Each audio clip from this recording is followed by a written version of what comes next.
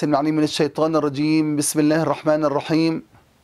الحمد لله رب العالمين والصلاة والسلام على أشرف الخلق والمرسلين سيدنا محمد صلى الله عليه وسلم وعلى آله وصحبه أجمعين.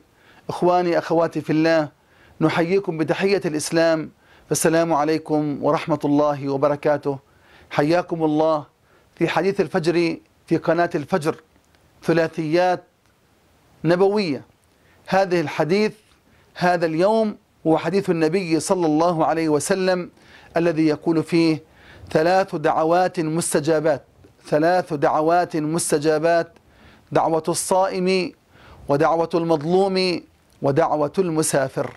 الله أكبر. وأيضا يا أيضا بين النبي صلى الله عليه وسلم أن هناك أيضا في أحاديث كثيرة اللي هي ثلاثة منها قال الذاكرين الله كثيرا والمظلوم والإمام المقسط. وأيضا هناك أحاديث في أن ثلاثة مستجاب دعوتهم لكن نأخذ هذا الحديث الذي يقول فيه النبي صلى الله عليه وسلم ثلاث دعوات مستجابات دعوة الصائم ودعوة المظلوم ودعوة المسافر. إخواني الكرام دعوة الصائم ونحن في هذا الشهر العظيم الله عز وجل خص آية في منتصف آيات الصيام قال وإذا سألك عبادي عني فإني قريب. أجيب دعوة الداعي إذا دعان فليستجيبوا لي وليؤمنوا بي لعلهم يرشدون. الله أكبر. الله أكبر دعوة الصائم. كيف بين النبي صلى الله عليه وسلم أنها مستجابة وخاصة حينما يكون عند فطره فإن الدعوة مستجابة. إذا من أجل ذلك أنا أنصح إخواني الكرام أخواتي الآن قبل موعد الأذان بدقائق حبذا أن تجلس الأسرة كاملة على الإفطار وأن يقوم أحدكم برفع يديه إلى الله عز وجل ويرجع بإذن الله عز وجل فإن الدعاء مستجاب. حينما يوضع الطعام ويقترب الأذان هذه لحظات حساسة جدا. يكون الإنسان في غاية الشوق إلى أن يأكل وأن يشرب. بعد أن مضى أكثر من ستة عشر ساعة وهو صائم لله عز وجل في هذا الحر فإنه يقبل على الله عز وجل. عند ذلك فإن الله عز وجل ينظر إليه وقد امتنع عن الطعام والشراب وباستطاعته أن يأكل ويشرب ولا أحد يعلم به إلا أنه صبر واحتسب من أجل الله عز وجل. فانظر ماذا سيكون الموقف. الله تعالى لن يرد دعاه. قال عليه الصلاة والسلام إن الله لا يستحيي إذا رفع العبد يديه إلى الله أن يردهما خائبتين. يا الله ما أجمل هذه اللحظات وما أجمل هذا اللقاء العظيم. وأنت مع أسرتك رافعا يديك إلى الله عز وجل. تدعو الله عز وجل بكل ما تريد. ادعو الله عز وجل من أجل آخرتك من أجل دينك وإيمانك. ادعو الله عز وجل من أجل إخواننا المعتقلين. ادعو الله عز وجل أن يفرج كربهم. ادعو الله عز وجل لأهلك ولإخوانك ولأحبابك ولأصحابك. ادعو الله عز وجل أن يفرج كرب أهلنا في سوريا وفي كل البلاد وأن يفرج الله عز وجل كرب هذه الأمة. والله إخواني الكرام نحن أحوج ما نكون إلى الدعاء وأقل ما نعمله في هذه الدنيا وفي هذه الأيام هو الدعاء. أن نرفع كف الضراعة إلى الله عز وجل أن يفرج الله عز وجل كرب هذه الأمة إلى أحسن حال بإذن الله عز وجل.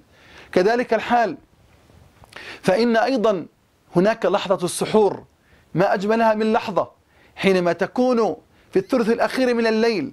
والله عز وجل ينزل في الثلث الأخير وينادي يا عبادي من له حاجة فأجيبها؟ من منا لا يريد حاجة من الله؟ من منا ليس عنده مصيبة ولا هم ولا بلاء ولا مصيبة عظمى؟ قال الله عز وجل أما يجيب دعوة المضطر إذا دعاه ويكشف السوء؟ هل أحد غير الله عز وجل؟ لا وألف لا. إذا من أجل ذلك أخي الكريم أقبل على ربك جل وعلا. أقبل على الله عز وجل. حينما تأتي وقت السحور وخاصة أن اليوم معظم الناس رح يظلوا صاحي حتى أذان الفجر. أقول والله أخي الكريم مصيبة. أن تقضي طول الليل من مسلسل إلى مسلسل وتقضيه الآن طول الليل. وإنت الآن على الشد وعلى الآن المقاهي أقل شيء اجعل لله عز وجل ولو بالثلث الأخير ركعتين لله. ارفع يديك إلى الله أن يلهمك الله على الخير وأن يشرح الله على صدرك للإيمان فهذه من أكبر النعم والله. وادعو لكل من تحب فإن الدعوة مستجابة في هذا الثلث الأخير من الليل. إذا أخي الصائم اغتنم هذه الأيام بالدعاء. وأيضا وأنت ساجد لله عز وجل فأقرب ما يكون العبد عند الله عز وجل عند سجوده. كذلك الحال فإن دعوة المظلوم أيضا مستجابة. يا الله يا الله النبي صلى الله عليه وسلم يقول يقول لدعوة المظلوم قال وعزتي وجلالي وعزتي وجلالي الله عز وجل يقسم بعزته وجلاله أن الله عز وجل سيعطيه وسيستجيب دعاءه قال وعزتي وجلالي لأنتقمن لك ولو بعد حين ورد في حديث عن النبي صلى الله عليه وسلم قال أن دعوة المظلوم تخرج كأنها جمرة حمراء إلى السماء. قال فيقول الله الله عز وجل من شدة الظلم الذي وقع عليه قال وعزتي وجلالي لأنتقمن لك ولو بعد حين. إخوان الكرام من منا يقدر على انتقام الله؟ من منا يقدر على انتقام الله سبحانه وتعالى؟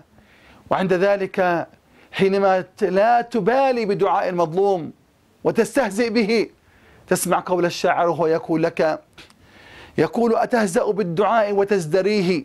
وما يدريك ما صنع الدعاء. سهام الليل لا تخطي ولكن لها أمد وللأمد انقضاء. إذا أخي الكريم إياك إياك إياك إياك من دعوة المظلوم. والله أنت الآن تحت رحمة الله. اعلم أن الكون للكون إله. والله عز وجل قال من يعمل سوءا يجزى به. إياك أن تعتقد أنك فوق كل شيء فالله عز وجل فوقك. اعلم علم يقين أن نظرك ما زال يعمل بأمر الله وأذنك ما زالت تعمل بأمر الله وشرايين مخك وعصبك ما زال يعمل بأمر الله. واعلم أنك تمشي بأمر الله ويدك تعمل بأمر الله. والله تعالى قادر بكلمة كن فيأمر هذا العقل أن يقف. عند ذلك تصبح مجنونا فمن غير الله؟ سيرد لك العقلك اعلم أن صحتك ما زالت تعمل بأمر الله. فإذا فإن فإذا الله عز وجل ابتلاك بمرض صغير بسرطان أو غيره من كل الأطباء هل يستطيع أن ينقذوك؟ لا وألف لا. إذا تأدب مع الله. إذا تأدب مع الناس. إذا كن على يقين وحذر. إياك أن تظلم خلق الله. بأي أمر كان. وخاصة ما نرى. كثير من الآن أصحاب الآن المحلات من يظلم من يعمل عندهم أو أصحاب البنايات والمهندسين والشقق وغيرها. في أي مجال لا نقصد أحدا أبدا. فتظلم العامل الذي يعمل عندك. عند ذلك يدعو عليك دعوة. والله تخسر كل ما تملك. أيضا إياك إياك أن تظلم خلق الله عز وجل. خاصة إذا كنت في موضع المسؤولية إياك. إياك فتخسر خسرانا كثيرا.